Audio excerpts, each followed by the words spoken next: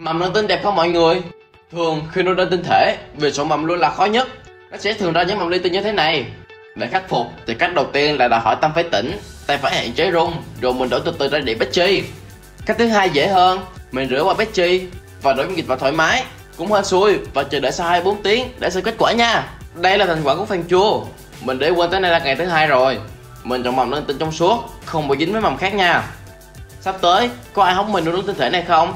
Mọi người coi nè, nó không còn bị cách tinh li ti nữa. Mầm của nó có màu tím sang rất là đẹp luôn. Giờ là tới bước bụng mầm và nuôi thôi.